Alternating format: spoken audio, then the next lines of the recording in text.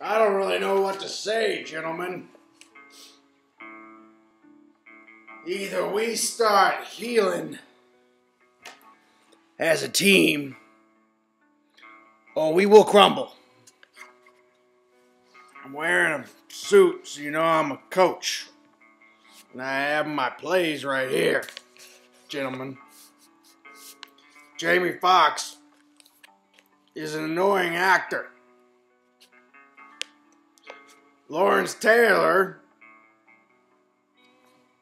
just banged some 16 year old in a hotel. But on this team,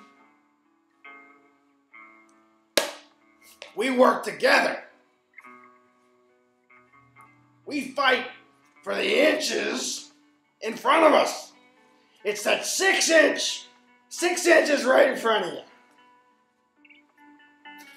It's that six inch wiener right in front of your face.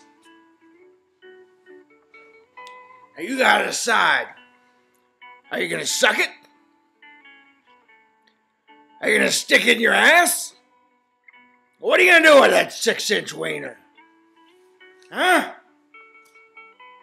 Well, on this team, we suck that six inch wiener. We stick right here and we just start sucking.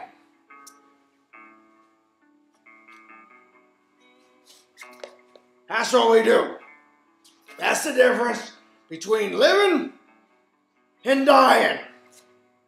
Between winning and losing.